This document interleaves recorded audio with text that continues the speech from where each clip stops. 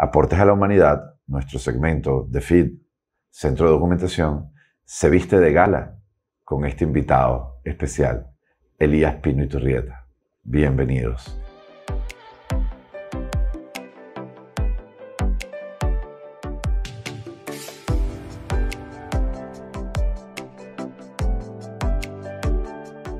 Qué bueno, Elías Pino, eh, verte el día de hoy para comenzar con estos programas, con esta serie de programas donde tenemos por finalidad en el Centro de Documentación FIT rescatar los aportes que han hecho a la sociedad, han hecho al mundo, han hecho en definitiva a la humanidad, porque somos parte de la humanidad.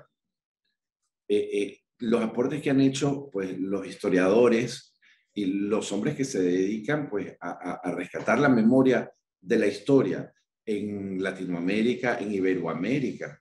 Y, decidimos comenzar por ti, Elías. Elías Pino, cuéntanos, Elías, eh, eh, podríamos comenzar por, por um, cómo, cómo, cómo influyó. Tú, tú, tú fuiste director de la Academia de la Historia de Venezuela. Y, bueno, has publicado pues innumerables obras de mm, contenido histórico que son pues este, referencia obligada en la historiografía venezolana. Eh, ¿Cómo, cómo el, el, mundo te reconoce, por lo menos en Venezuela, como, como historiador? así te ven, el, país te conoce. Eh, eh, eh, ¿cómo, ¿cómo, influyó en tu, en tu vida, en tu formación? Podremos decir porque uno no tiene, uno no tiene culpa de, de, de, las acciones de, nuestros antepasados, de nuestros mayores, pero esas acciones tienen consecuencias dentro de nuestra vida. ¿Qué consecuencias podrías decir tú que tuvo la guerra civil española en tu, en tu crianza, en tu enseñanza, en tu enseñanza como historiador, en tu formación académica como historiador? Bueno, Crisanto, primero te doy las gracias por esta iniciativa que me parece de mucha utilidad y a mí por escogerme, muy agradecido por la invitación y, y, por la oportunidad de que hablemos y de que nos veamos la cara, que hace tiempo no nos vemos personalmente. En relación con tu pregunta es bien interesante porque refleja ese juego de influencias que es muy importante para la formación profesional y para el desarrollo de la profesión en el futuro. Yo era muy reaccionario, si se puede utilizar el término, en materia de historia de España. Yo había sido alumno de bachillerato de los padres jesuitas, que en aquella época eran sumamente falangistas y ultramontanos y yo con esa maleta de falangismo y ultramontanismo reaccionario, pues viajé a hacer mi posgrado. No me pasaba por la cabeza otra idea que la del horror que había sido la guerra civil y, y, y, la identificación de los culpables, que eran por supuesto los republicanos. Todo eso cambió por completo en mi vida y en mi concepción del mundo y de la historia y de la cultura española simplemente por casualidad. Yo fui a hacer el doctorado en el Colegio de México, ahí hice mi doctorado en el Colegio de México entre 1966 y 1969. ¿Qué sucede? El Colegio de México se llamaba antes la Casa de España en México, que fue un lugar mm, montado, preparado por el presidente Lázaro Cárdenas para acoger a los intelectuales republicanos españoles. Esa Casa de España se convierte después en el Colegio de México, al que yo llego sin tener idea de esta historia anterior. ¿Qué sucedió? Bueno, a mí me tocó trabajar con uno de los republicanos más eminentes de esa inmigración que llevó a México el general Cárdenas. El, me refiero al maestro José Gauss, un filósofo muy importante, quien había sido, además, rector de la Universidad de Madrid durante la época de la República y comisario de la famosa exposición internacional que se celebró en París, en la cual se presentó por primera vez el Guernica. Yo no tenía idea de esto, ni tampoco él me lo comunicó, pero en la medida en que yo asistí a sus cursos o ya me comprometí como, con él como, eh, porque lo convertí en mi tutor y él aceptó, era evidente que todo el clima de la, de la guerra civil en algún lugar estaba. Y como además tuve de compañero otro que fue después un, y es en la actualidad un importante historiador mexicano, José María Muriá que es de origen catalán, pues yo por allí también entré en el Centro Catalán de, España, pero sobre todo en la bibliografía inmensa que había sobre los hechos de la República que yo no conocía y en definitiva, pues nada, me metí con cierto interés a estudiar la guerra civil hasta el punto de que influyó muchísimo en mi vida. Yo era un ultramontano falangista cuando llegué a México y me convertí en un republicano convencido y respetuoso inmediatamente después. De manera que, y, esa, y ese cambio, por supuesto, modificó mi manera de hacer y mi manera de escribir. Yo terminé escribiendo en aquel momento este, como discípulo de Gauss y aprender a, a, escribir en aquel momento como discípulo de Gauss en el fondo era escribir como discípulo de quien fue rector de la Universidad de Madrid durante la época de la República. De manera que sí, la pregunta parecería o pudiera parecer extraña, pero no lo es. En efecto, para mí fue muy importante la guerra civil, primero porque me dio un entendimiento distinto de la cultura española, de la cual formamos parte. Y por supuesto, debido a, los maestros que allí estaban, estaba el maestro José Miranda, que había sido eh, otra figura muy importante de la República, don Rafael Altamira, el gran historiador, don Pedro Bosch, el gran, el gran, el, don Pablo Vila, el geógrafo que después vino a dar a Venezuela, el poeta León Felipe que frecuentaba el Colegio de México, todo eso por supuesto se te va metiendo por los poros y después mucho más adentro. De manera que sí, la respuesta es con este prólogo que fue muy importante la Guerra Civil Española y lo sigue siendo. Cuanta bibliografía de novedades está circulando, yo, yo la veo con, con mucha atención. Y sigo con, con, interés algo que debería ocuparnos a todos, a ti y a mí, Crisanto, por nuestra relación con España y con lo español, que es la ley de memoria histórica que, que introdujo en primer lugar o aprobó el presidente Rodríguez Zapatero que condujo a la ley de rehabilitación, podemos decir así, de, de, de redención de los judíos expulsados y que ahora está sujeta a nuevas modificaciones que están causando mucho, mucha polémica. Todo esto como consecuencia de la guerra civil o de una conflagración muchísimo anterior, que fue la de la, de, la, la llamada reconquista y el control de los reyes católicos de Granada y por supuesto la expulsión de los judíos. Todo forma parte de un mismo paquete. El origen es seguramente ese renacimiento con los reyes católicos que llega a cumbres extraordinarias con, con, la guerra civil ya en el siglo XX. Es así, que, que es fascinante todo esto que me cuentas, Elías, porque fíjate que, que, que tanto que hemos hablado tú y yo, eh, largas horas y, y, y, y, todos los almuerzos que compartíamos, y, yo nunca había escuchado de tus maestros. Es fascinante toda esta historia, todas esas personas anónimas, anónimas para el mundo hoy en día.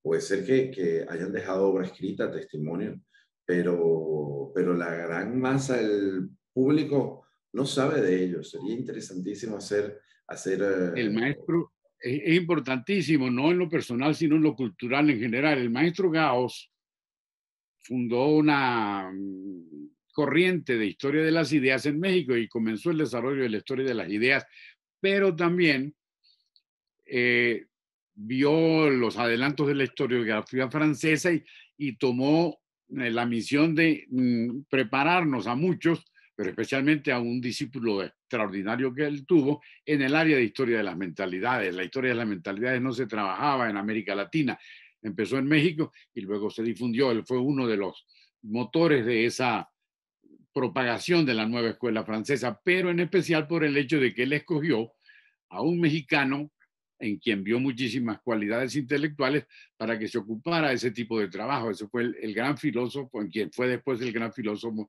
y maestro hispanoamericano Leopoldo Sea.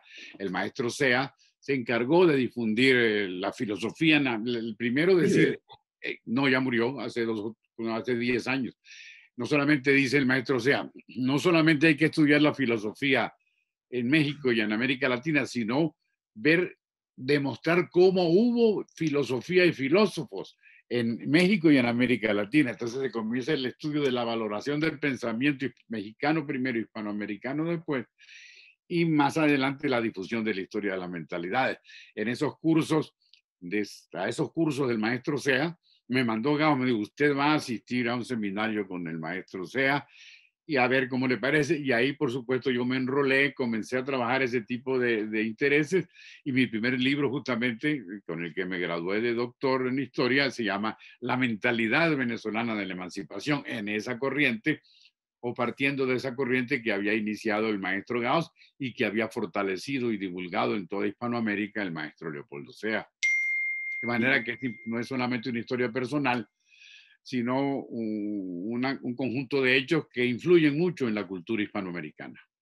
Y esta corriente de estudiar la historia de las mentalidades o de las, o, o de las ideologías, eh, eh, esto nace, nace en Francia, pero, pero, pero, no tiene precedentes eh, en la historiografía francesa. Tiene precedentes en un historiador holandés, quien sin proponérselo fundó la historia de la mentalidad. Es el, el holandés, es traducido por Ortega, en, en, por Ortega y Asset en la revista de Occidente e inmediatamente comienza a difundirse también en Francia, antes en Francia y después en España, lo que va a ser historia de las mentalidades. Me refiero a el autor de este libro que se llama El otoño de la Edad Media. ¿Cómo se llama? Conchale, ya se me fue. Un libro esencial ¿Lo recuerdas, Crisanto? Qué bonito el, el, nombre, el otoño de la Edad Media, me suena. El otoño de la Edad Media.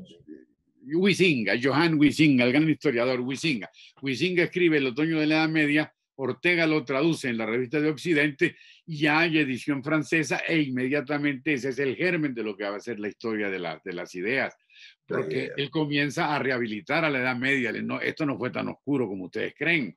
No es cierta la, la, la penumbra de la Edad Media.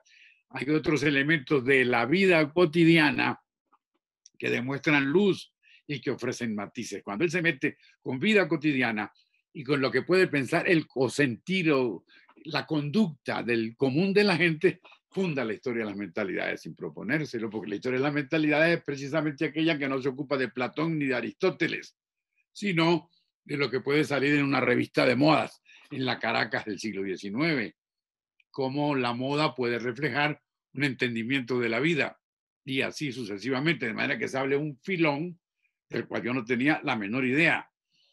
Pero llego en el año 68 a México, en el año 67 a México a trabajar eso y encuentro que está floreciendo esa corriente y por ahí me meto yo a hacer historia de las mentalidades. Allí que, como te dije hace poco, mi primer libro se titulara la mentalidad venezolana de la emancipación.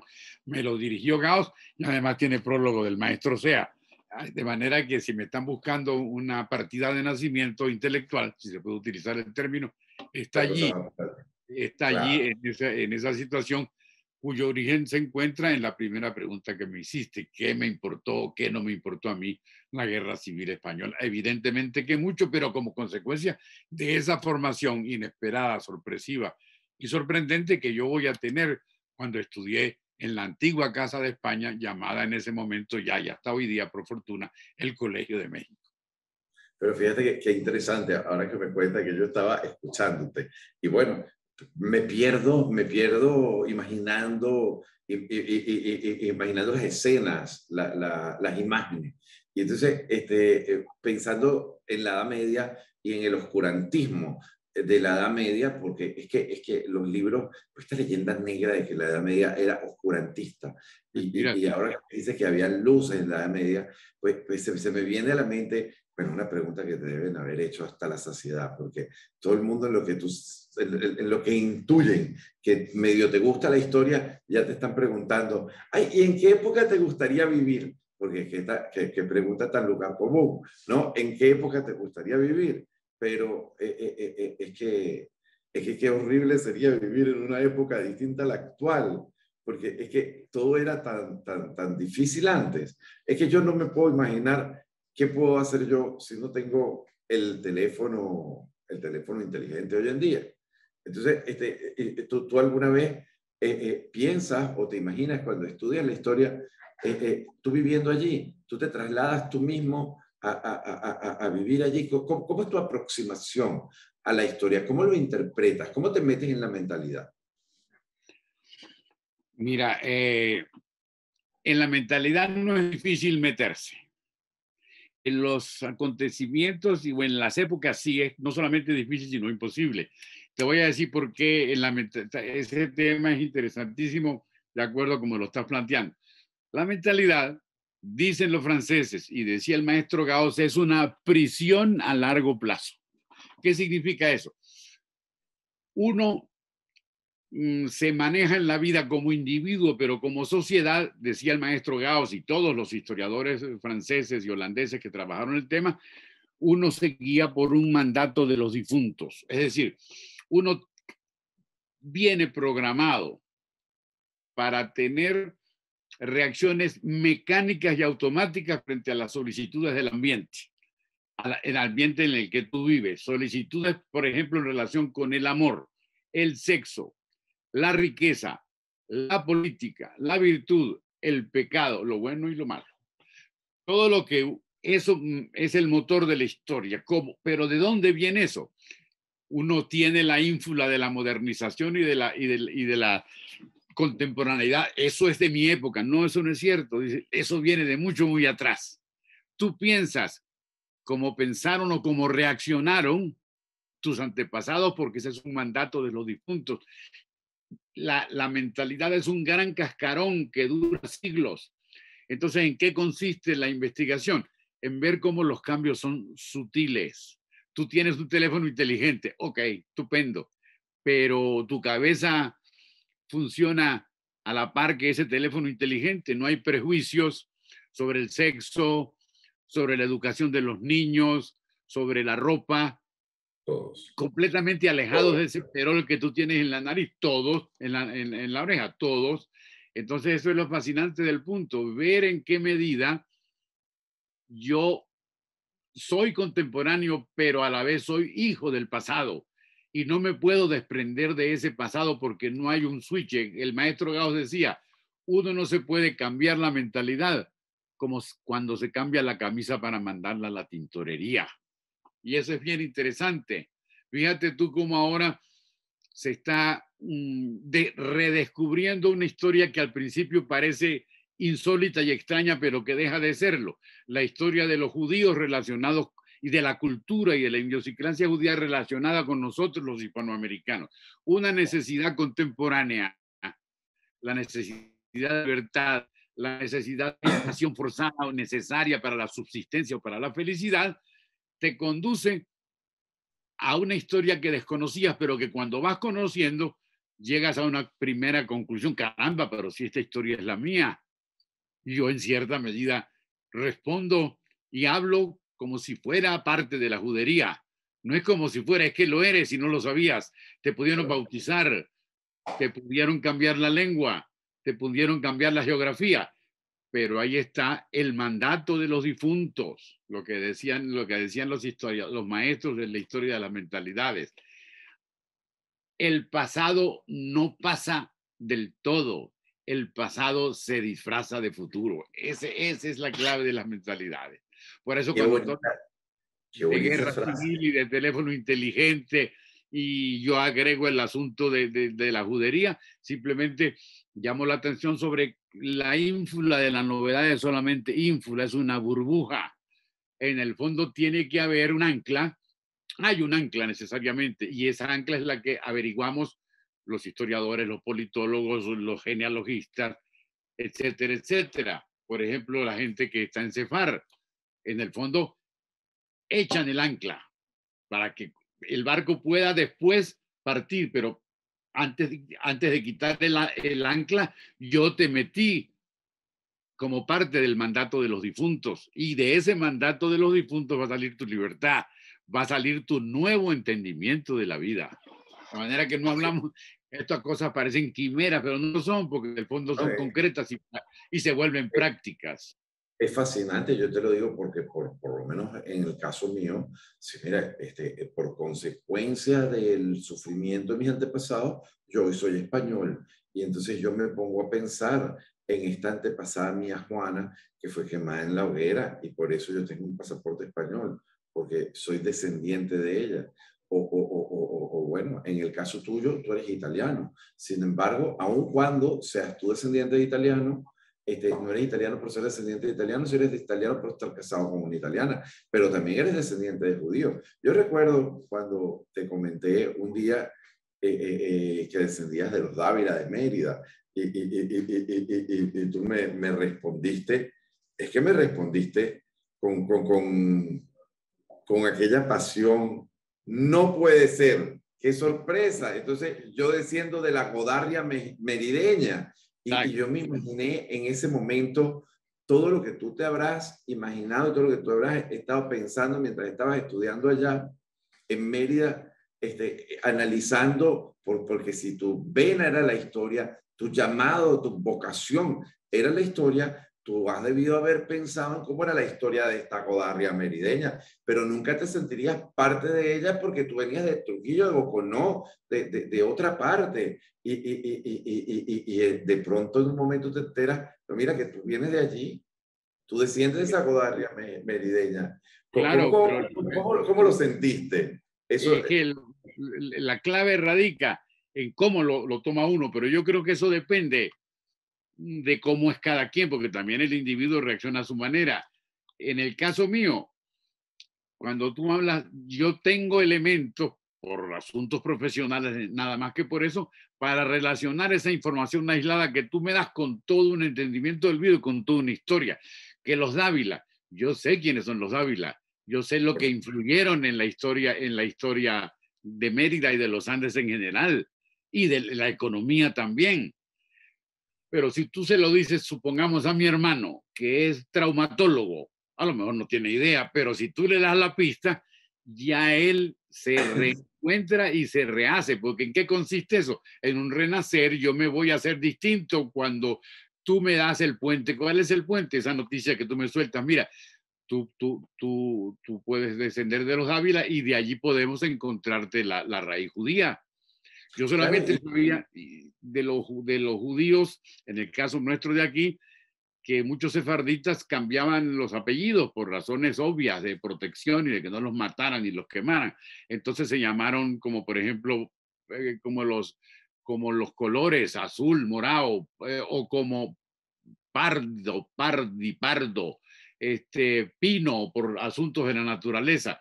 Por ahí era por donde yo lo tomaba, pero no, tú me haces tocar tierra, tú me dices, aparte de esas cosas que son generalidades, hay hechos concretos. Y esto es muy importante. La mentalidad depende de hechos concretos, pero son a veces no son concretos porque están muy escondidos, están soterrados y es cuestión de ir sacándolos, de ir buscándolos. Y sobre este todo una cosa como esta, que, que, que era malo ser judío, era considerado, la mentalidad era que, bueno, te, te hacían unas pruebas de limpieza de sangre. Qué cosa tan aberrante. Limpieza de sangre para demostrar que estabas limpio de toda mala raza de judío o de moro. Es una cosa aberrante. Pero había la mentalidad de que era malo ser judío, entonces todos trataban de esconderlo y de ocultarlo. Entonces esa es la labor del genealogista abogado en Cefal Universal que va tratando de buscar y de escudriñar para poder probar que, que la persona desciende de judío. Esa, esa, es una labor muy difícil, el, el, el, el, investigar eso, porque trataban de esconderlo. Así como lo escondían, lo escondían para las siguientes generaciones. Entonces, no hay manera de que tú sepas que tú eres descendiente de judío porque te lo esconden en la familia. Así, mira, si en la familia esconden que, que, que hay, hay, una tía que tuvo un hijo natural, entonces no, no, lo sabe nadie en la familia, es una tía de, de, de ayer. Entonces, aquí estamos hablando de tantas generaciones, Elías, tantas generaciones. Y, extraordinario.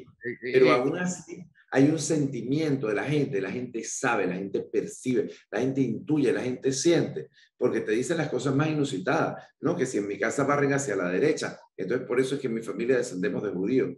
Pero es que en realidad todos descendemos de judíos y entonces todo de alguna manera lo tenemos que sentir. Eh, es igual que yo sé que tú tienes el apellido Pardi, pero tú eres venezolano, tú naciste en Venezuela. Tú naciste en Maracaibo, de hecho, naciste en Maracaibo, ¿verdad? En Maracaibo, porque no había... Aunque a ti no te gusta mucho, a ti no te gusta mucho que digan que tú eres maracucho. No, no, no es cuestión de gusto, sino yo creo que es cuestión de fidelidad. Yo paso, fidelidad histórica, digámoslo así. Yo nací en Maracaibo, pero un accidente, no había hospital en Boconó, mi madre tenía algún problema, me tuvieron que eh, llevar a, la llevaron a Maracaibo y ahí nací yo, pero a la semana yo estaba en Boconó y yo no me moví de Boconó hasta la adolescencia, de manera que yo soy de Boconó, yo no, la madera, yo no hablo como maracucho, yo no pienso como maracucho. ¿Por qué? Porque es un mandato de los difuntos, los difuntos me establecieron a mí en Boconó y yo tengo que reaccionar frente al mundo como un gocho de Boconó, ¿qué más le voy a hacer? Un gocho de Boconó que tuvo la fortuna de hacer la peripecia que yo hice, que dejé de ser abogado porque dije que no me gustaba eso, que iba a ser historiador y fui historiador. Y para completar, resolví ser historiador de las ideas gracias a estas influencias que me cambiaron la vida y que me hicieron ver a España distinta y a, la, y a Hispanoamérica. Eso es bien importante. La noción que nosotros tenemos, Crisanto Antonio, son en general producto de visiones nacionales. Se piensa en Venezuela y se piensa en Colombia por ejemplo, pero no se ven como unidades porque no lo fueron. En el momento de la, de la, hasta el momento de la independencia, son circunscripciones distantes y alejadas en el Perú, en el Nuevo Reino y en Venezuela. ¿Qué vínculos había? Muy pocos, quizás ni siquiera había caminos. Entonces, uno agarrando los retazos de, la, de, de, las cosas que comienza a saber, que si soy judío, que si no soy judío, que si los moros, no solamente reconstruye la historia personal, sino la, sino la historia continental. Nosotros, los habitantes de Hispanoamérica o de Latinoamérica, como yo digo, no nos presentamos como latinoamericanos. ¿Usted de dónde? Yo soy uruguayo. ¿Usted de dónde? Yo soy paraguayo. Yo soy mexicano. En efecto, pero a la vez ¿Eso implica confesarse latinoamericano? No, porque esa vivencia de los latinoamericanos no la tenemos. En la medida en que no tengamos esa vivencia, tenemos problemas. La hemos superado, entre otras cosas, por ejemplo, no por los libros de historia, por desdicha, sino por la televisión. Las telenovelas de Brasil, de México, de Venezuela, nos, nos cambiaron nos, dieron, nos dieron otra manera de ver las cosas, pero a la vez hasta de hablar. Muchos niños comenzaban, sobrinos míos hablan como, ¿por qué habla como? No es que habla, es por lo que él oía de la televisión y imitaba el idioma, imitaba, eh, eh, imitaba el hablar colombiano o el hablar andaluz. Eso sería... Sí, el fenómeno de la globalización moderno ha vencido esa, e, e, e, esa separación que había en el pasado. Sin embargo, Elías, que, que bueno todo esto que estamos conversando, porque esto trae a mi memoria una conversación que tuvimos en el pasado y, y quizás es la ocasión, la tribuna perfecta para sacarlo a colación. Una vez estábamos discutiendo sobre el asunto de, por qué razón, fíjate que Europa ha podido unirse para enfrentar los retos del futuro en, en, conjunto, en equipo, que, que, que, los ayuda a no ir individuales solos por su cuenta. Y, y, y, en Latinoamérica no habíamos podido cohesionarnos, no hemos podido cohesionarnos. Y, conversando contigo, yo te digo que, qué cosa tan absurda, siendo que somos tan iguales. Y tú me dices que precisamente los europeos funcionan en unidad porque ellos se dan cuenta de lo diferentes que son y respetan sus diferencias. En cambio, nosotros no nos, damos, no nos, no nos respetamos nuestras diferencias porque pensamos que somos muy iguales. La conversación iba algo por allí, por ese sentido. Sin embargo, es que yo no puedo dejar de ver las diferencias que hay cuando yo voy a España y yo estoy, por ejemplo, en Madrid o, o, o donde, donde he vivido o, de pronto me desplazo a, a, Cataluña, donde también he vivido, donde hice mi doctorado, yo hice mi doctorado en Barcelona y ahí pasé tres años de mi vida. Yo conozco a los catalanes y ahora vivo en Sevilla. Bueno, vivo en Sevilla, paso tiempo en Sevilla porque me voy, paso un tiempo en Sevilla, paso un tiempo en Barranquilla pues sabes, pero tengo, eh, eh, eh, es un lugar donde, donde estoy. En Sevilla, el sevillano es completamente distinto del andaluz. Son completamente diferentes. Son tan diferentes, tan diferentes que hasta hablan idiomas diferentes. Pero no, no, no contento que, que, que, en España hayan estas diferencias. ¿Qué me dices cuando llegamos a Alemania y tenemos un alemán que es tan distinto a un español? pero es que tan parecido a un mexicano, a un colombiano que a un venezolano, que yo paso la frontera, yo estoy aquí en, en, Barranquilla y yo no noto diferencia en el habla de Caracas. O sea, yo ahorita, aquí estoy en Barranquilla. Y para mí es que es como que si estuviera en Caracas, porque somos la misma gente, pensamos igual, tenemos la misma idiosincrasia, resolvemos los problemas de la misma manera, tenemos una historia muy similar, es el mismo idioma, es la misma religión, es la misma forma de vestir, es la misma música, los mismos gustos musicales, bailamos lo mismo, este, la comida es muy parecida, las arepas, o sea, es que eh, en Alemania comen una cosa y en España comen otra, ¿no? Pero entonces aquí en Venezuela y en Colombia comemos arepas y en México también, que se llaman, ¿cómo se llaman las arepas en México, Elías? ¿Cómo que se llaman? Las tortillas. Gorditas. Gorditas. Gordita. Ah, las sí, gorditas. Sí, pero las arepas son las gorditas, igual que las empanadas son las enchiladas, ¿no? Eh, eh, es, decir, este, nuestra comida es la misma, tenemos la misma comida, muy similar, muy similar. tenemos el, el, el, el, tequila, el tequila y el cocuy y el mezcal no es lo mismo. Lo hacían los indígenas, nuestros indígenas, los que estaban en México y los que estaban en Venezuela. No es así. Sí, pero hay, hay cuidado, hay que poner matices. Fíjate tú, ¿por qué ocurre la, la, la integración europea, la Unión Europea? Porque se mataron durante siglos entre ellos mismos y compartieron una vida de destrucción y también de producción de riqueza. Déjame invadir, invasión de los Países Bajos, eh, España dominando con los tercios, Inglaterra matándose con los franceses, los franceses levantándose en armas contra contra los otros, eh, los italianos diseminados principado contra principado. Eh, eh, eran iguales, no, eran, se fueron haciendo iguales como consecuencia del intercambio, aunque fuera para matarse. Voy a invadir a Flandes, a matar a los de Flandes. Los de Flandes vienen a defenderse Guillermo de Orange se levanta contra la corona de España y se matan, pero en lo que se matan se conocen y en lo que se conocen intercambian. Y yo para matarte tengo que ver quién me vende los productos y las armas y la pólvora. Y así se va construyendo en medio de las diferencias una cultura común.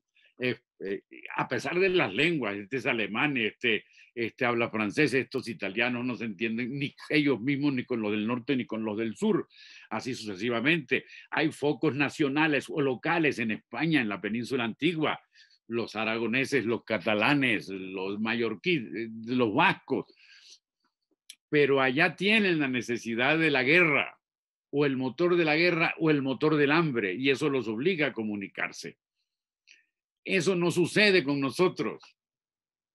Nosotros tenemos una manera de vivir impuesta por la metrópoli y a la metrópoli le interesa un mapa partido en pedazos. El venezolano se gobierna desde Santo Domingo, por ejemplo, o desde Puerto Rico. Y ya en el futuro se va a gobernar desde Bogotá. ¿Cómo es qué disparate tan grande? ¿Cómo puede un bogotano determinar cuando se convierte en virreinato la Nueva Granada la vida nuestra? No existe la posibilidad sino a través de mensajes y de cartas. Pero las economías son distintas. Yo no necesito el Reynoso para vivir. El Reynoso no necesita al venezolano para vivir. la banda oriental del Uruguay no quiere a los del río de la, a los habitantes. Reynoso, Reynoso es que vivía en el nuevo reino de Granada, que era como se les decía. Claro, Reynoso es el reino. Cuando viene la, cuando ocurre la invasión, la, el movimiento colombiano de los de, la, de, la, ¿cómo se llama esto? De la reacción contra los, comuneros, el movimiento de los comuneros. Ese movimiento viene a Venezuela y fracasa. Cuando viene por la grita, ya lo que es hoy territorio venezolano, los venezolanos salen huyendo y decían... Viva el rey y muera el mal gobierno. Exacto, pero también decía, vienen los reinosos, es decir, viene una gente rara, vienen enemigos.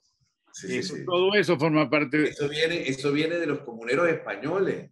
Claro. el rey el mal gobierno. claro, claro desde, desde los tiempos del emperador. Ya, digo, claro. Del emperador. Ahora, fíjate, para terminar la idea. Entonces, ¿qué es lo que pasa con nosotros? Esa es la historia de las mentalidades, eso es lo que averiguamos nosotros ahora. Ni siquiera el idioma nos une, eso es otra cuestión que se tiene que revisar. Así, por ejemplo, hablamos todos la misma, la religión y el idioma, todos somos la mayor, mayoritariamente católicos, sí, por supuesto que sí, pero no podemos comparar el catolicismo venezolano más laxo con el catolicismo de la indiada mexicana, que es muy furibundo hasta para hacer la independencia. La Virgen de Guadalupe manda, caracha. Aquí no hay Virgen de Guadalupe que mande. Hay como ah, quizá la chinita, hay algunas diferencias. Cada, proceso, se está adaptando a sus circunstancias, ¿no? Y, y lo del idioma es muy importante. Fue como un enclaustramiento de 300 años hablando de una manera. Si yo tengo que ir a Bogotá, hablan el mismo idioma, sí y no. Yo inmediatamente, él, el bogotano dice, este no es como yo, este es diferente. Pero, claro, porque habla, habla pero, pero, tú vas a España, fíjate, tú vas a España y va también un bogotano y un mexicano y un argentino y, y un español. Los tienen frente a todos y el español no es capaz de decir que hay diferencia entre la habla de ustedes. No, por, por supuesto que no, pero nosotros sí. Pero nosotros ah, sí. claro, tú estás al lado de un costarricense y dice, ¿qué es esto? Este, no es, este es distinto a mí, este no habla como yo. ¿Por qué? Bueno, a veces me cuesta con los costarricenses, pero bueno. Y porque tiene una historia distinta. Agarra un billete de Costa Rica, agarra un billete de, de, de Colombia, aparte de los héroes famosos, a ninguna, tú, no los conoces. ¿Quién es este? Simón Bolívar, coño, claro. ¿Quién es este? Santander, coño, claro. ¿Quién es este? En lo que se baja la escala de la historia nacional, se descubre nuestra indigencia informativa. No sabemos nada del otro. Bueno, eso lo tenemos que, eso, eso es una cosa que tenemos que. Eso es lo que se tiene, eso es lo que se tiene que superar. Y yo lo aprendí, y eso no fue porque me lo enseñaron en la escuela, sino porque en el Colegio de México había una, un conjunto, una colonia pequeña, pero muy cercana de latinoamericanos. Y ahí comencé yo a ver cómo era el chileno, la música chilena, el, la cueca, la música colombiana, mm, el vallenato, que me gusta muchísimo, por cierto, y así sucesivamente, pero yo me entero de eso por mi experiencia personal en un país tan excesivamente nacionalista como era México. Quizá ante ese excesivo nacionalismo hicimos una caparazón latinoamericana. Entonces yo me traigo la, Latinoamérica por experiencia y por necesidad, y hago de la necesidad virtud cuando llego aquí. Es decir, yo soy venezolano, por supuesto, pero también soy latinoamericano. ¿Cuándo aprendí yo eso? Cuando vi la matanza de Tlatelolco, que yo estaba allá, y cuando lloré la matanza de Tlatelolco, y cuando vi cómo mataban a los mexicanos que dejaron de ser extraños para ser hermanos. Entonces es cuestión de formación académica, sin duda, pero de la vida tú tienes que ser distinto, Crisanto Antonio, después de que te fuiste de Caracas a vivir en España y hacer tu esta empresa que te tiene en este momento, que te tiene en Barranquilla. Me parece que es un proceso hermoso el que viviste porque te permitió darte cuenta de, de, de, de esta diferencia, de esta realidad diferente que vivimos los, los latinoamericanos. y probablemente también hay que acabar con la idea acabar con la idea de la historia fraternal. no, la historia común que no fue tan común porque fue más bien... Hay, hay, que ver cómo fue. Procesos históricos individuales que hay, que hay, que estudiarlos individualmente. Quizás es una labor, es, es, una labor que tenemos que plantearnos nosotros por delante. Vamos a, vamos a dar a conocer al resto de los países iberoamericanos las historias eh, mínima, o, la, la, historia mínima son las historias mínimas, las historias locales. Sí, la, ya ese proyecto, ese proyecto lo adelantó con muchísimo éxito. Usted en eso, el Colegio de México inició una serie de historias mínimas de toda Latinoamérica y creo que ya las hizo todas. Creo incluyendo la historia mínima de España. Bueno, vamos a hacerle, vamos a hacer una cosa interesante. Vamos a darle una manera, vamos a darle promoción a eso, a esas historias mínimas, vamos a rescatar ese proyecto que ya han hecho y vamos a, a, a, darle vida. Vamos a, revisar eso. Yo creo que de pronto pudiéramos hacer una cosa bien. Hay que tumbar mitos, Crisanto. Hay que tumbar mitos. Eso es lo que estamos haciendo. Y eso es una necesidad y la necesidad se convierte en virtud. El primer más lo pueden hacer? era el mito de los perjuicios del pecado judío de matar a Cristo. Ya eso, nos estamos riendo de eso por necesidad ya no hablamos ya no hablamos de mala raza porque formamos parte de esa mala raza y al formar parte de esa mala raza deja de ser mala para convertirse en buena y así evidentemente claro pero siempre hemos formado todos parte de la misma raza mira que, mira que Torquemada, Torquemada de dónde viene Hitler de dónde viene. O sea, es decir, los grandes perseguidores del pueblo judío claro. eran de origen judío. Pero, pero de todas maneras pensando y, analizando, porque todo esto, muy, todo, esto que me estás diciendo es fascinante y daría para que pasáramos largas horas conversando. Y a mí me parece que, que, de pronto pudiéramos hacer una serie de entrevistas con todas estas cosas, una serie de programas conversando de estas cosas que me parece que, puede ser fascinante, puede ser muy interesante, muy ilustrativo y podemos, podemos enseñar a muchas personas, porque además es muy agradable conversar contigo. Yo, yo disfruto mucho escuchándote. Yo creo que las personas que te escuchan también lo disfrutarán.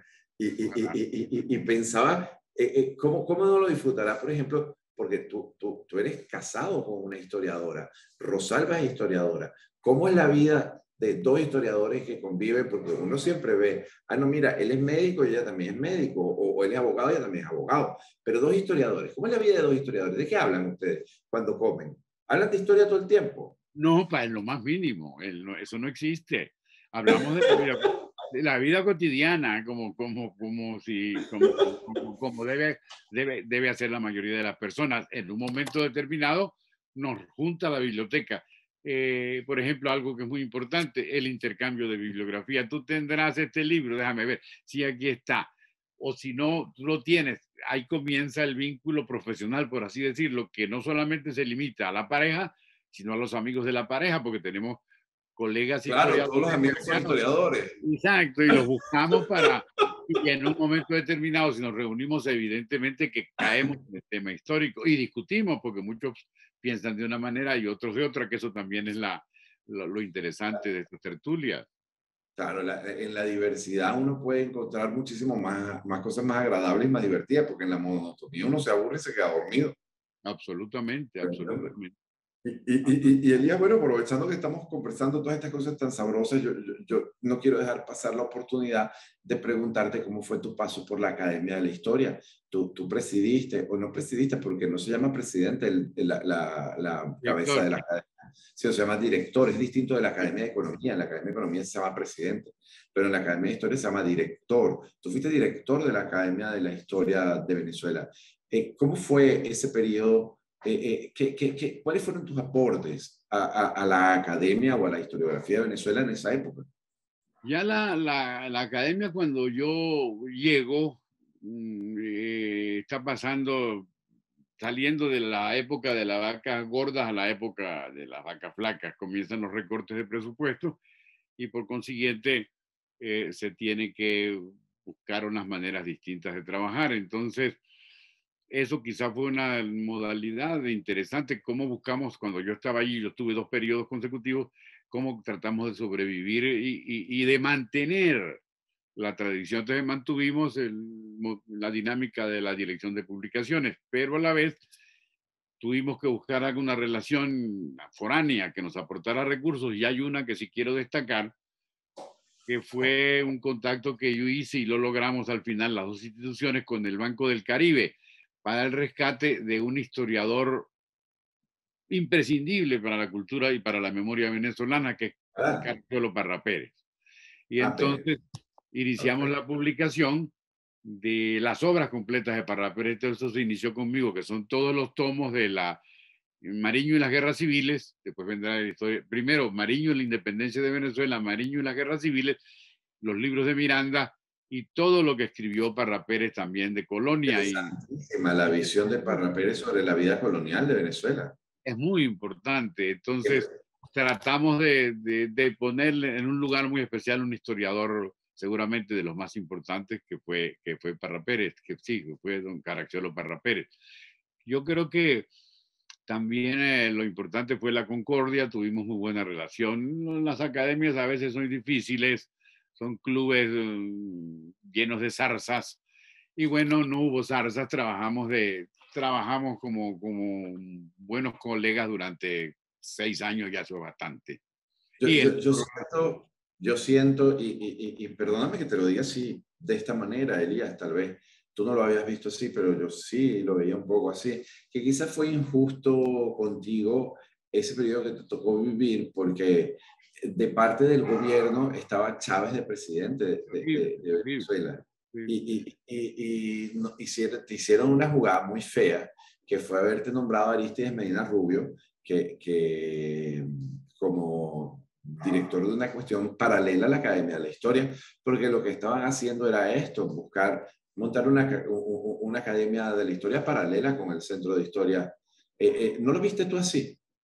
Por supuesto, era evidente, además estaba en la ley, era la creación de una memoria a la medida del régimen, de eso se trataba. Ahora, ahí hubo dos, dos un suceso fuerte, que, que es bueno que fue la, la, la, la, ley del gobierno, una nueva ley mediante la cual le quitó a la Academia de la Historia sus archivos más importantes, que eran dos, el archivo del Libertador y el archivo de, de, Francisco de Miranda. El archivo de Miranda es reconocido como patrimonio de la humanidad y el archivo de Bolívar es esencial para la memoria ¿Por venezolana. ¿Por qué? ¿Por qué? Porque explícame por qué. El porque estaba secuestrado. La humanidad. ¿Por qué? A nosotros en la academia habíamos secuestrado los documentos del pueblo. Ese fue el argumento. Y simplemente... Pero ¿por qué es un patrimonio de la humanidad? ¿Por qué el archivo de Miranda es patrimonio de la humanidad? Lo declaró la UNESCO Patrimonio de la Humanidad. ¿Por qué lo declaran Patrimonio de la Humanidad? ¿Cuál es la razón de la UNESCO? Porque, los testimonios de Miranda recogen valores importantísimos de toda Europa y testimonios de la, de la preindependencia y de, y de la cultura panamericana. ¿quién es Francisco Miranda? Francisco Miranda lo conoces tú que eres venezolano y yo. Pero es que el resto de Latinoamérica, Iberoamérica, no conocen a Francisco de Miranda. ¿Quién fue Francisco? Porque su archivo, porque su archivo fue importante. ¿Qué hay en su archivo? Es un archivo. Porque Francisco de Miranda es el único venezolano que está en el Arco del Triunfo de París. Porque el único latinoamericano. El único latinoamericano porque no hay otro. Porque Miranda peleó en la revolución y ese arco lo mandó a hacer Napoleón para sus glorias. Ahí está la explicación. Claro. y porque fue un viajero o un ilustrado de los primeros ilustrados hispanoamericanos que tiene cierta presencia continental europea. Y entonces, como él era maniático, recopiló todos los testimonios de su vida, de sus viajes, de su ópera, de sus encuentros con Catalina, de su visita con los Estados Unidos. Eso dejó un memorión, es decir, un material riquísimo para muchísimas investigaciones relativas a Europa y América. Por eso es que una, se le solicita a la UNESCO y se, y se le da la, esa distinción de, patrimonio de hay la humanidad. Un cuento, hay un cuento que yo una vez escuché y te lo voy a repetir de, la, de memoria como lo escuché. Eh, eh, eh, pero bueno, es tradición oral y, y, y, ¿qué, ¿qué, se puede decir? Pero supuestamente cuando llega el archivo de Miranda a la Academia de la Historia, no sé si era que estaba de presidente Cristóbal Mendoza, y, y, esto, esto es lo que el, cuento que escuché, llegó una cajita de plata que contenía bellos públicos. Eso es verdad. Y la mandó a quemar. Eso es verdad. A Mendoza. Este es verdad el cuento. Ese cuento es verdad. es verdad porque creo que quedaron dos o tres sí, que, no cayeron, que no cayeron en la hoguera. Y un día estábamos en la Academia de la Historia el doctor y yo fumando un cigarro en el pasillo y la secretaria de la academia, que era Mariana Ponce, dijo, mire, los pelitos que se salvaron de la quema. Eso fue verdad, por consiguiente, sí. Sí, ¿por qué? Pues porque son visiones pudibundas que por fortuna nosotros hemos superado, Cristán.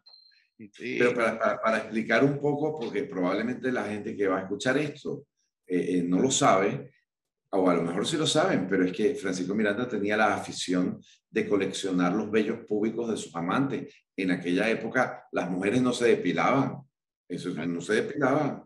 Y entonces, este, eh, pero es que es eh, eh, la verdad, y entonces llega esto y, y, por el concepto moral, pues se queman esto. Pues, que imagínense que hoy pudiéramos hacer exámenes genéticos a estos bellos y pudiéramos encontrar los bellos, la, genética de Catalina de Rusia. Bueno, eso de Catalina de Rusia que se acostó con él debe ser mentira, eso es una fábula, no importa. Pero fíjate que tú ese cuento que tú pones de los bellos públicos de las mujeres de Miranda, explica por qué su archivo es patrimonio de la humanidad, porque se recogían los bellos públicos del siglo XVIII, pero también los libros, la correspondencia diplomática, los materiales que venían de Hispanoamérica, los proyectos libertarios que se estaban desarrollando. Todo eso el loco lo guardaba y los llevaba en sus baúles. la receta, ¿Te acuerdas la receta? cuando publicamos la receta para hacer queso parmesano de Francisco de ah, Miranda. el tipo hacía queso parmesano. Fíjate tú, cuando, cuando hicimos la, la, tú inventaste e hicimos, después yo me incorporé en la revista El Desafío de la Historia. ¿A quién se dedicó el primer número? A Miranda. A Miranda. Porque es que es un ícono, es una figura muy importante y por eso se declaró Patrimonio de la Humanidad su, su, su archivo. Ahora, ¿Cuál es el cuento? Ese archivo que está bien cuidado, bien protegido, por disposición del presidente, ya se lo quitan a la Academia de la Historia. Y lo mismo Pero gracias a Dios se salvó, se digitalizó, se... Se había salvado, se había digitalizado. Y, y, se hizo con el archivo del Libertador, que es un archivo inmensamente grande porque está toda la correspondencia. También la correspondencia se lo llevaron. ¿Cuánto puede valer?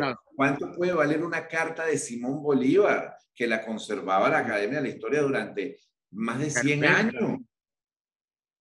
Se hizo una, un inventario y se entregó el archivo completo, tanto en el caso de Miranda como en el caso de, de, Bolívar.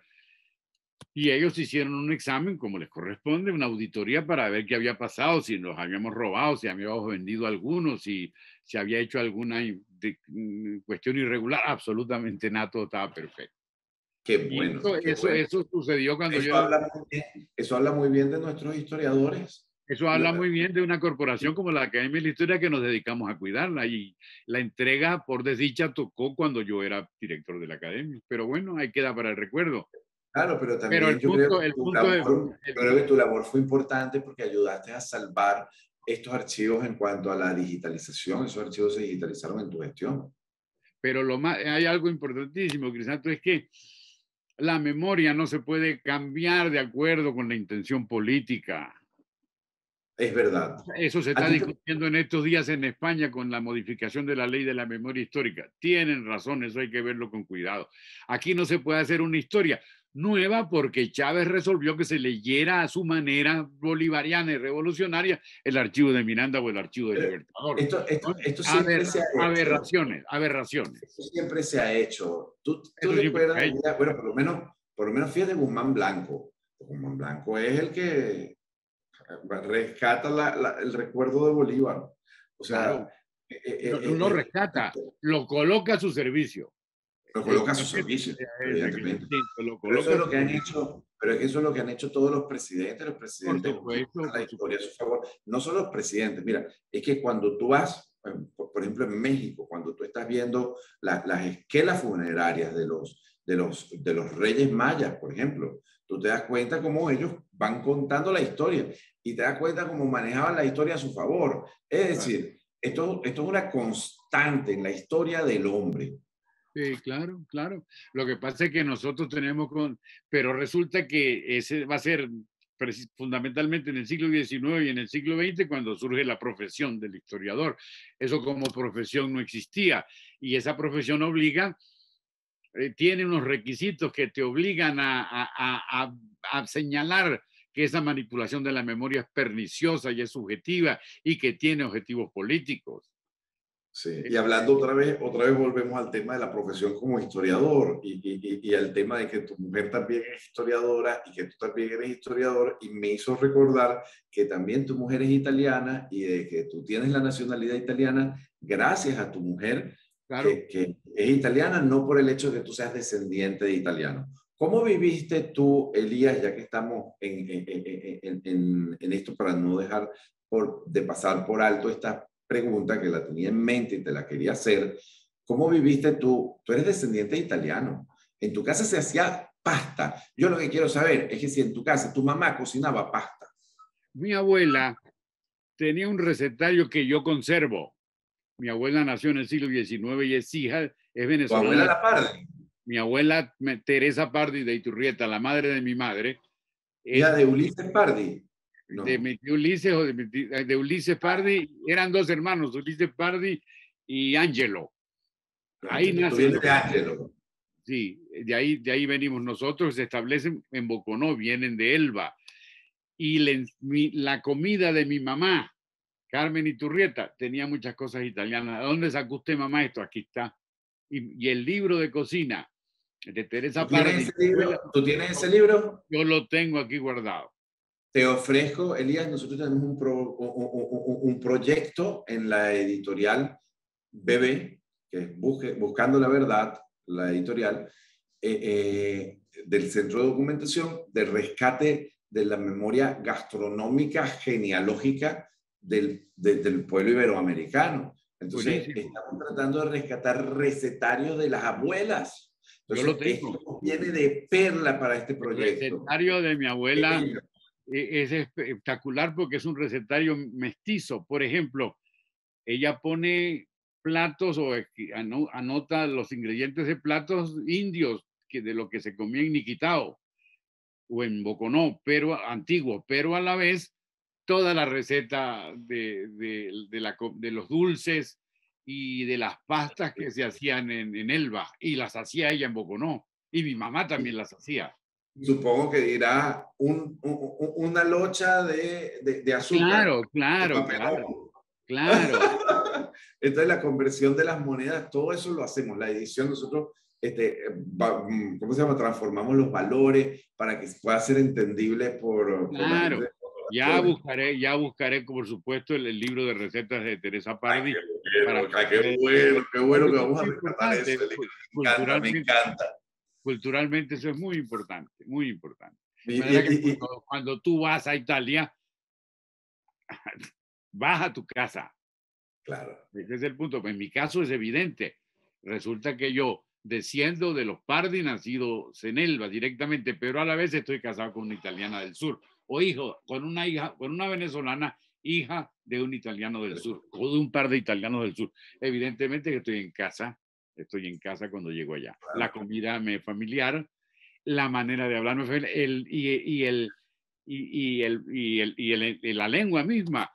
Eh, aunque yo sé que ya tú tienes la nacionalidad italiana, igual nosotros podemos, porque como me pareció que te interesaba ahora cuando estábamos conversando con la parte de los judíos, podemos sacar la nacionalidad española y la portuguesa tuya. Tú sabes que... que, que no, ya lo sé, ya veré.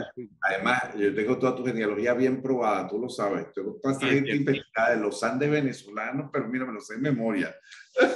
Voy a, voy a aprovechar tanto, porque yo creo que... Claro, sí, aprovechame, Elías, aprovechame. Son asuntos muy importantes en la actualidad, así es. Pero te quería preguntar, te quería preguntar por, por, por, por tu tía Amelia si también cocinaba. Mucho. Más cocinaba, mi, sí, las Pardi, mis tías Pardi, que yo conocí, eran dos, mi tía Amelia y mi tía María. Eh, ellos tuvieron unas propiedades de café que se vinieron a menos, no sé las razones por las cuales se vinieron a menos, y entonces quedaron ahí, de, la, de las Pardi viejas, quedaron solamente dos en Bocono, mi tía Amelia y mi tía María, y ellas hacían granjerías para la venta, y de eso se mantenían, por ejemplo, las empanadas de las Pardi, los dulces de las Pardi eran famosos, las mantecadas de las tías Pardi.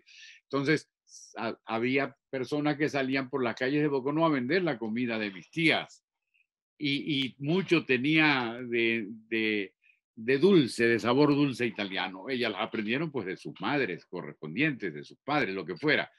De manera que ahí estaba mi tía Amelia haciendo dulces y ahora utilizada por mí en mis críticas. Ahora, pero, pero ¿cómo, cómo, cómo un historiador comienza a ser tuitero?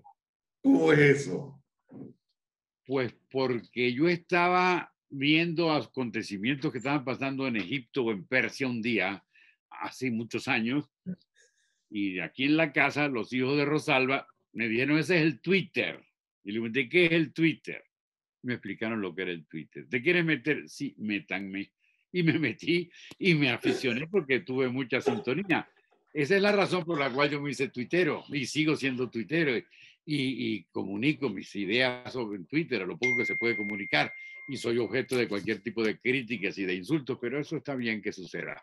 Esa, eres, bueno, eres un tuitero, además, un tuitero genealógico, porque además te inventaste un personaje basado en tu genealogía, que es tu tía Amelia. Claro, ella existió, pero la resucité para traerla al Twitter, eso es verdad, mi tía Amelia Pardi. Amelia Pardi, sí, sí. Qué bueno. una familia muy grande. De mis tíos yo recuerdo como ocho o nueve que ya murieron todos, de los Pardi González viejos que se establecieron en Boconó 1870. A partir de allí, ahí comienza una historia interesantísima. Y yo creo que por el lado Pino, este, hay una rama italiana también, pero una rama judía. en el caso de mi abuelo Ramón Pino Quintana, se llamaba.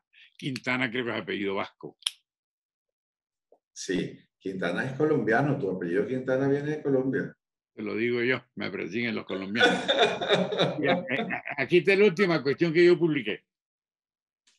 ¿Cómo se llama? La cosiata, pero fíjate el subtítulo. Ah, a ver. Páez, Bolívar y los venezolanos contra Colombia. ¿Por qué? Porque aquí comienzan a verse las diferencias. Uno dice, Colombia se destruye por la diferencia de economías y por los enfrentamientos de las élites. Sí, pero la gente común decía, ¿usted de dónde? Yo soy de Cundinamarca.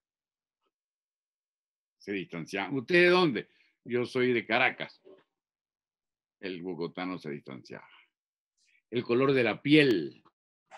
Mm, el, mestizo hablamiento y dicharachero y gritón con una lanza en la mano que invade, porque esa es la palabra, a la Nueva Granada no puede ser bien visto por la élite bogotana ni por el general Santander. Es decir, es una mentalidad que se enfrenta con otra y que se mezcla y que va a producir una explosión. En 1830 se va al demonio Colombia. Un ilustrísimo colombiano, científico y político muy importante, a quien todos recordamos con respeto, don Francisco Antonio Sea, que fue vicepresidente de Colombia, escribió, yo lo usé como epígrafe en el libro, en el librito este. La República tiene todas las características de los gobiernos reconocidos de la tierra ¿quién podría atacarla? ¿Quién podría aumentar o disminuir su riqueza? ¿De quién tiene necesidad? Eso lo escribe Leopoldo, eh, Francisco Antonio Sea, vicepresidente de la República en 1822. Qué bello, qué bello. Venezuela, pura mentira, Venezuela, pura ilusión. No aguanta ocho años el proyecto porque son tres historias metidas a la fuerza la historia de Venezuela, la historia de la Nueva Granada y después la historia de Ecuador, que en ese momento llamado Quito. Y Panamá. En un corsé, bueno, que Panamá forma parte de la, del nuevo reino. El nombre de Dios.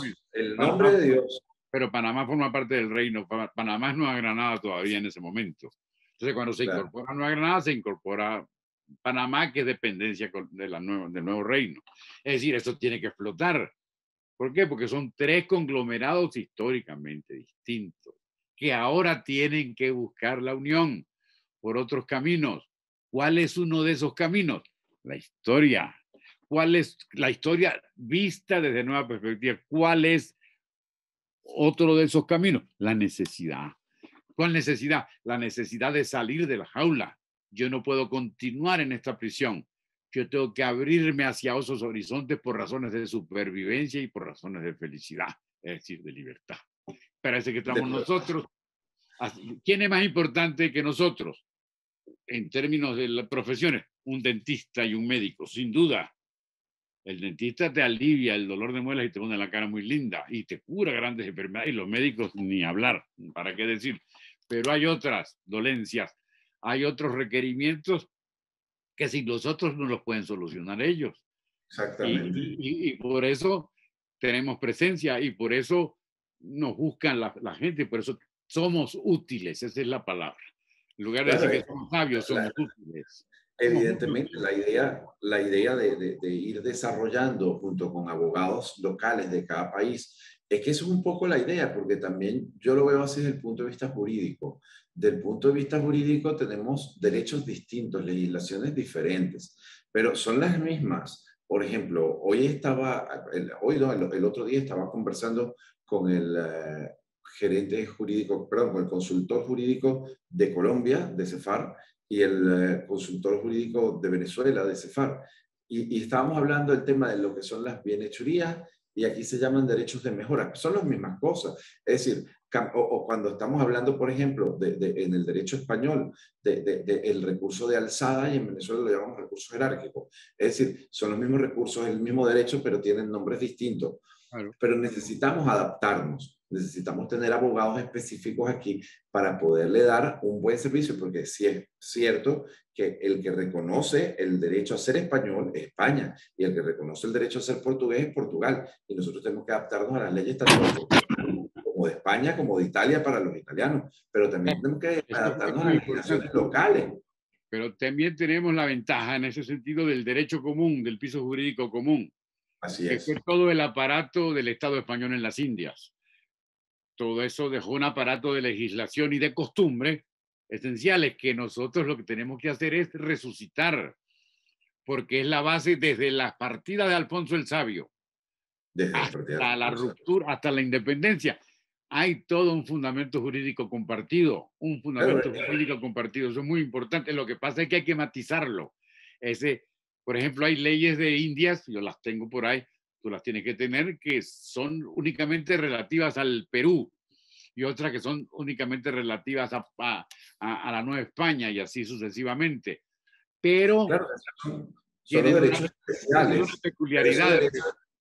Pero esos derechos especiales, fíjate que nosotros discutíamos siempre sobre el tema de que si, si, si nosotros éramos colonia o no éramos colonia, por el hecho de tener un derecho especial. Sin embargo, en España nosotros no nos atreveríamos a decir que Cataluña es colonia de España por el hecho de tener un derecho especial, que lo tienen los fueros catalanes, claro. donde tienen un reconocimiento de autonomía. Entonces, este, e, e, en realidad, el derecho especial es una cosa que está presente, en el sistema español. El sistema español eh, eh, contiene derechos especiales en las distintas regiones. Correcto. Entonces, eh, eso, eso, que tú dices es completamente cierto, pero tenemos este aparato común que estamos en este momento resucitando con esta creación, porque fíjate que, que, que cuando nosotros comenzamos, yo no sé si tú recuerdas cuando comenzamos con el Coffee News, que teníamos la franquicia de Coffee News para toda Sudamérica que tuvimos que ir registrando país por país, porque no existía Cefar Universal en aquel momento, entonces nosotros tuvimos que buscarnos un bufete, eh, un bufete de abogados, una firma de abogados en cada país para registrar según ese país, porque incluso esas firmas que eran multinacionales, ninguna de ellas era global, tú tenías que contratarlas individualmente porque todas eran empresas distintas, a distinto de como nosotros que, lo, que, que somos una unidad y estamos, tenemos presencia en todos estos países y esto es lo que nos permite un poco resucitar esa plataforma de la que tú hablas de derecho común que creó España, que creó ese reino español en toda Iberoamérica. hay, una, hay, una, hay una generalidad y una peculiaridad. ¿De qué se trata? De que la peculiaridad se ajuste a la, eh, a la generalidad. Y para eso están los historiadores, los genealogistas, los abogados. Por ejemplo, que sin forzar, sin forzar, la barra, simplemente las razones históricas te lo explican. Pero a mí me parece así porque era 1700. A mí me parece fascinante esta mezcla que hemos hecho de estas tres profesiones y oficios que han sido la historia, la genealogía y el derecho en Cefar Universal. Porque, Mira, yo decía una cosa, lo decía, verte a ti, verte a ti hablar en estas, en estas reuniones donde estamos perdón, eh, eh, eh, donde están los historiadores, los genealogistas, los paleógrafos, los, los, los, los bibliotecólogos, de tan, los antropólogos de tantos países distintos como España, Portugal, México, Colombia, cuando tenemos estas reuniones donde abordamos temas específicos de historia o de genealogía y los resolvemos con un conocimiento común, esto no había pasado nunca antes. Esta unión intelectual que tenemos este centro de, documentación FID, o sea, eh, eh, esto nunca había pasado antes. Está, además, todos remando, remando hacia el mismo fin. Es, como tú decías, ayudar a, a, las personas a ser libres, porque es obtener esos pasaportes que les permiten tener la libertad. A hacer su destino aprovechándose de su pasado. Aprovechar. Claro, porque no es porque a mí me da la gana de hacerme, yo quiero ser español porque me gustan los toros. Y es porque tienes derecho, es porque tienes derecho. Es porque tienes, una historia que, te lo conduce allá, no porque te gusten los toros. Puede ser que a mí me... Yo quiero ser español porque me gustan los callos, ¿qué eso? ¿Ah? Te hago una pregunta, Elías. ¿Alguna vez alguien en tu familia consideró que era inútil que estudiaras historia? No, no, lo vieron como muy extraño. Yo empecé a estudiar Derecho, el año me retiré, y esto no es lo mío, yo voy a estudiar Historia.